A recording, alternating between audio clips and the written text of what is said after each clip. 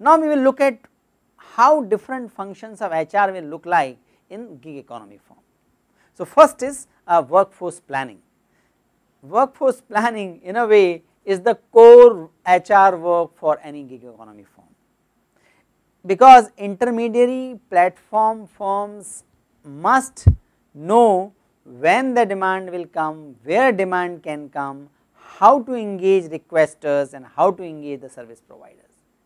In order to scaling up that is what they need to know because the scaling up for the gig economy firm is nothing but enhancing their network and enhancing their network nothing but identifying the requesters and tracing looking at the train where the maximum requesters are available or in which season or for which particular service request, requesters are available and the customers are available. They use the services, they make use of the intermediary services and they have certain ways of managing the workforce planning and drawing the benefit of appropriate workforce planning. One is surge price, if on certain time of the day uh, the demand of the taxis or demand of the uh, Zomato service provider increases, they can increase the price for that particular point of time. That has potential to impact both the demand and supply of the uh, requesters and service providers and customers. They do uh, workforce planning and in strengthen their workforce by marketing campaign. So, initially they give lot of offers uh, in fact uh, many many very famous effective uh, gig economy firms are actually loss making they keep making losses for many years or for few years till the time people become habitual of their services. Then they also use the techniques of the temporary price reduction. This generally happens in the time of the uh, slack or in the time of entry into the market. Once people are familiar, they experience the convenience provided by the platform, then they can increase the price. So, seen from the ecosystem perspective, this creates a multilateral value benefiting all ecosystem actors involved. So, all these three things eventually help uh, all three entities of the gig economy firm. Second is uh, recruitment and selection. Seen from the ecosystem perspective, it is important that the recruitment of both actors run in parallel to avoid mismatches in the supply or demand of the labor. So, they need to recruit the uh, service providers, they also need to recruit the end customers. In some cases, the careful recruitment is required. In some cases, general recruitment process is good enough. For example, Uber the task is very structured you check the uh, availability of the driving license and anyone can become the Uber partner. But uh, if Clickworker has to ensure that they properly match the software developers or web designers with the customer who approach this their platform they must know the capacity or competence level of their requesters so, they need to do the conscious selection of the requesters for a particular task offered by uh, uh, a customer. So, they need to in fact do the grading as well, what is the level of that complexity uh, one requester can handle in comparison to another one and accordingly they need to connect the customers and the requesters. training and development is also like that. It is it is done extensively sometime it has to be done extensively sometime to ensure that service delivery remains at a optimum level. So, training for gig workers and training for the requesters both are important. training for the gig workers example is of the Uber driver they are offered instructions on how to improve their passenger ratings and earnings while online intermediaries may offer pre-employment training to interim project managers. So, uh, Uber drivers they are the gig workers they can be they many times are required to provide the uh, training so that their they can satisfy their customer better. One another example is in the New York City Uber does require poor performing taxi drivers to attend training sessions. You must have noticed the there is some basic training is given even to the drivers even to the Zomato gig workers about the courtesy, about their customer interaction, about the process they have to follow. Training and development is not only required for the gig workers, it require it is required for the requesters as well. For instance, a meal delivery platform like uh, Deliveroo uh, or Uber Eats, they instruct their requesters and who are the requesters? Requesters are the restaurant. So, they they uh, train the restaurant on working on the algorithm to ensure that meals are ready on time when the gig worker approach them so that the gig workers time is not wasted and uh, this restaurant can also serve large number of customers. So, training is required for gig worker as well as the requesters.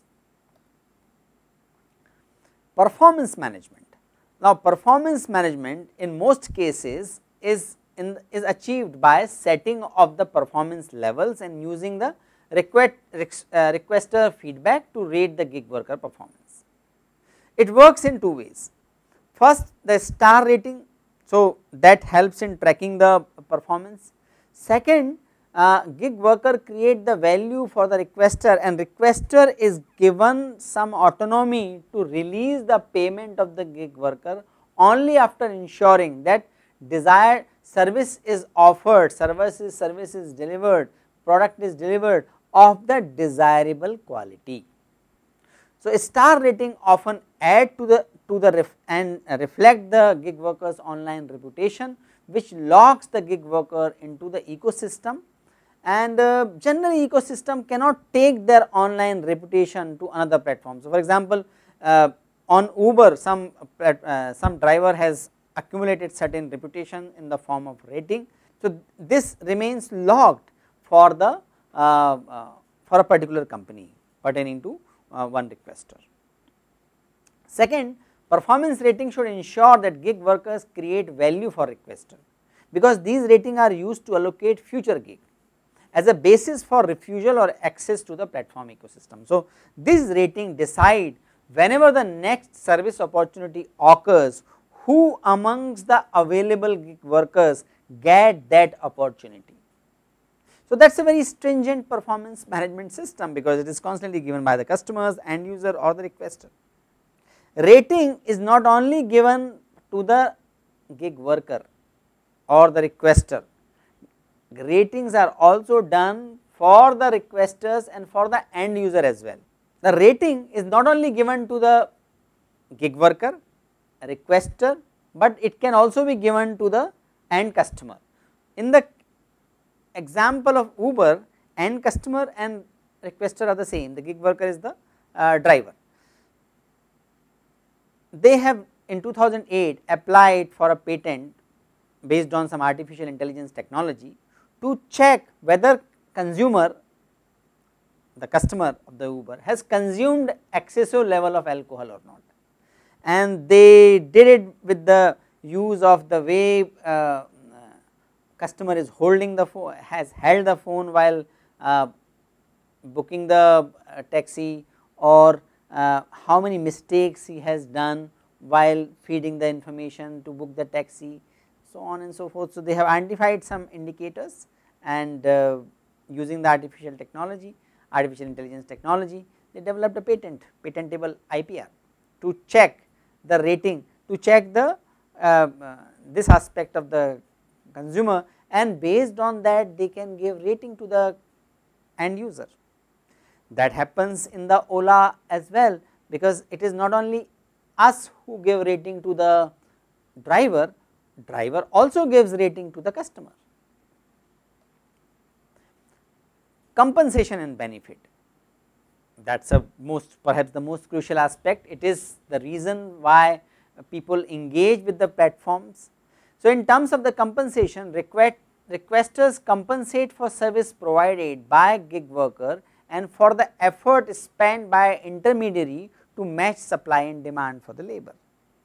To ensure that gig workers live up to the requesters expectation, intermediary platform firms may grant requester the possibility to hold back payment from gig worker when they feel gig workers performance is below par.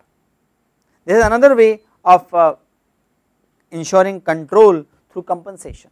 From the ecosystem perspective, it is important that gig workers find the level of compensation beneficial and appropriate. And that is why some platforms are ensuring that their gig workers get at least the, the minimum level of the wage.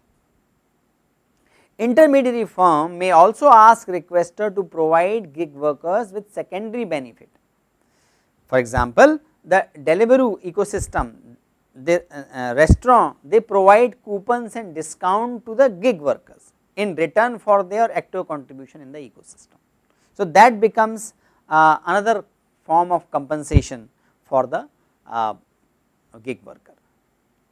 So, compensation and benefit also you can see is affected by it is controlled by not only the platform, but by the requester as well. What are the competencies required for HR to carry out these processes effectively?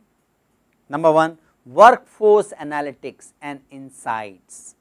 They lead to better decision system and they lead to more personalized experience and personalized treatment and that is the very important competency HR need to have.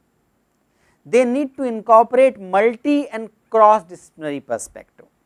So, they need to understand marketing, supply chain, technology mediation, customer behavior, stakeholder management in order to carry out any HR activity whether it is benefic whether it is compensation or benefits, performance management, recruitment, they need to understand this whole pheno phenomena, they need to understand the nature of their ecosystem, the nature of their market from the multidisciplinary perspective. So, even if uh, even Zomato has to look at their demand occurring in particular time in particular area, they need to use the econometric model, they need, need to know what are the social uh, uh, gatherings or what are the social functions going to be organized or during that time. They need to know are there going to be major festivals at that time. They need to market their services according to those occasion means this is pretty cross disciplinary work which HR has to be aware of. Challenge for HR is how to how do people create an ecosystem in which they learn continuously and still be productive there is so much data is being created because of the coordination and collaboration involved in the gig economy firms that they need to constantly churn the data and constantly track the taste of the customers, nature of the technology, availability of the product, so on and so forth to remain relevant in the marketplace. Because one improvement, one major improvement by the competitor can make one platform another platform redundant. So, uh, they have because all this is based on the IT based technology and IT based technology the beauty is that it can be changed very fast. One major innovation can make all other uh, apps redundant in the in, a particular industry in a particular segment. So, the HR need to be constantly looking at the best practices and constantly observing the trend and accordingly uh, manage the HR processes which we mentioned a short while ago. Managing change is very important ability for the HR to perform well in the gig economy firm. HR professional in because of these features have to be very highly digitally savvy. They also need to have the data fluency, the data fluency is explained as a capability to recognize the emotion and take decision based on data. So, you need to recognize if there is dissatisfaction, if there is a complaint, if there is a grievance of a gig worker or requester, but the resolution can be done based on the data and managing data as well as acknowledging and recognizing the emotions of the requester or the customer is very important capability for the HR to perform optimally in the gig economy form. Third and equally important thing is coaching, mentoring and guidance, developmental conversations. They need to engage with gig workers and requesters. They do not have the platform owners do not have the formal authority over gig workers or the requesters. So, if they want these people, these partners, these entities to perform well, so that whole system can be benefited, they cannot exercise their authority. They need to engage with them in a developmental way and that is why coaching, mentoring, guidance is the only way they can influence the behavior of the requesters or the end customers. So, HR activities in gig economy are designed to control and ultimately uphold the multilateral exchanges among gig workers, requesters and intermediary platform firms such that all actors are subject to HRM activities. You can see different HRM activities are performed by different actors in the ecosystem. Now towards the end of this session, I would like to highlight uh, basically these are highlighted by the researchers uh, whose uh, reference I have I have shown in the beginning of the session. So, I would like to mention about these special issues uh, of related to HRM in gig economy firms. First issue is about the life cycle. Life cycle of a platform has a major influence on the relationship or the quality of relationship they have with the gig worker and the requester. When a platform is launched, generally they adopt very friendly policies for the gig workers and requesters. As they reach to the level of maturity, as their network increases, their network effect also increases and they are able to get more income and more profit. In that process, the, their relationship and their power over gig worker and requester also changes. In the beginning of the launch, most of the gig economy firms invest huge, hugely and they do not incur profit. As the network grows, network effect grows and their prosperity and their profit grows, in that situation what is the optimum level of profiteering that is unresolved question. Another aspect is of the hybridization of the HRM activities.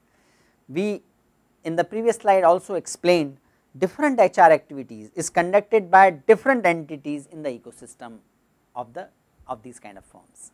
So, uh, customer give feedback to the driver, driver give feedback to the customers, restaurant give feedback to the gig worker, gig worker give feedback about the restaurant, platform uh, compile this data, sometimes platform also gives uh, uh, evaluates the efficiency of the requester and they also look at uh, how much business is given by the requester to the platform and accordingly they, they, they design the differential treatment. So, you can say uh, lot of HR activities related to benefit and compensation or uh, performance management they are conducted by different actors. How to integrate these, how to keep these justified and ethical these are the unresolved questions.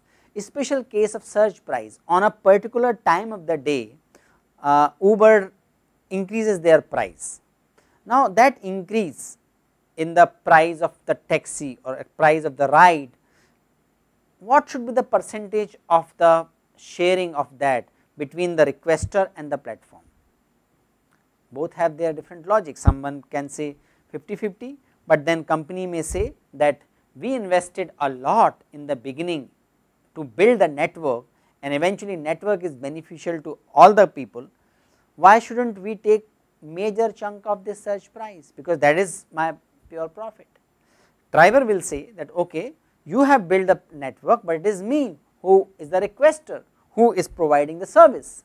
So, I am also equally important. So, why you should keep the biggest chunk. Likewise, these are some special cases which need resolution and HR has to work actively in resolving these issues in all the uh, gig economy firms. HRM activities or bundle thereof are used to uphold the different types of ecosystem. So, Uber's ecosystem is different, Zomato's ecosystem is different, um, uh, Byju's ecosystem is different.